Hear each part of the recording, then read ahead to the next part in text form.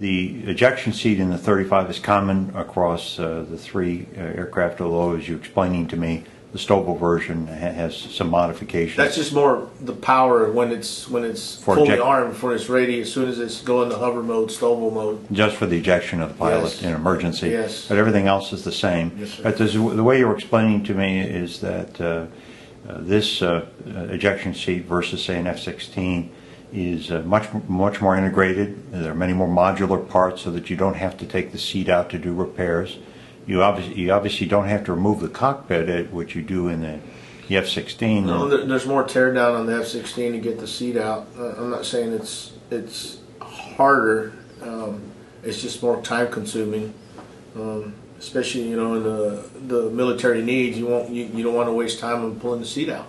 Right. You have to um, you have to be able to pull the seat out if you need to, and and that's one of the one of the the better options you have on this seat is you can work most of the seat on the aircraft, and you got a lot of replacement items. It's easier to get to. It's easier to remove, and replace, and and it's good for maintenance, good for the customer, and good for everybody. I was talking to one of the guys on the BF5 line, and he was saying that uh, his experience of the 16 was uh, it would take about three hours to do the maintenance uh, that you can do in about uh, 20 minutes on the, the 35 because you don't have to remove the canopy.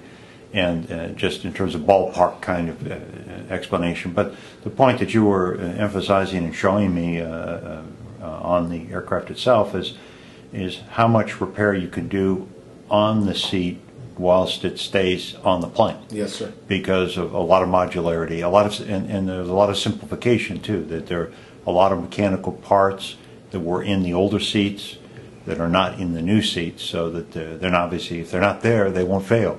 And now, I- I guess another important factor is uh, they've cut the inspection requirements immensely on the seat because you don't need them as much now. No, So, but to underscore that point, uh, uh, obviously you do the repairs, but then you need the inspection of the You repairs. always have to have an inspection, especially when you have a safety of flight. You know, this is a seat. This is critical for the pilot to, you know, if he has a emergency situation, he has to leave the aircraft, and that's one area you don't want it to fail. And, and, and always a second pair of eyes never hurts.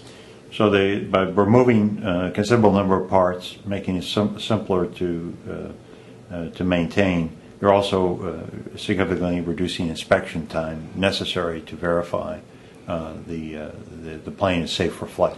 Sir. When you have less mechanical parts, less areas to uh, um, to work in, you know, the less there is, the less there is to do. Exactly.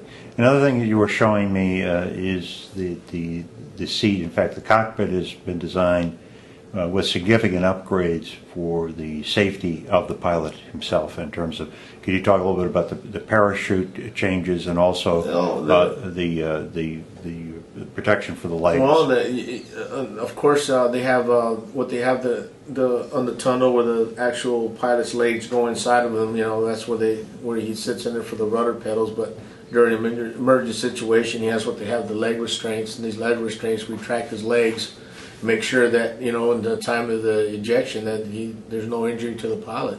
Not only that, but his um, his uh, I would say his whole uniform is designed to, or I would say the his um, cover, his uniform cover has got restraints in it too, so it pulls his hands in, and that makes sure there's no fingers lost or anything when he, he ejects. You know, you don't. That's all part of the. He has no time to think or anything. It's just something the aircraft automatically does for him.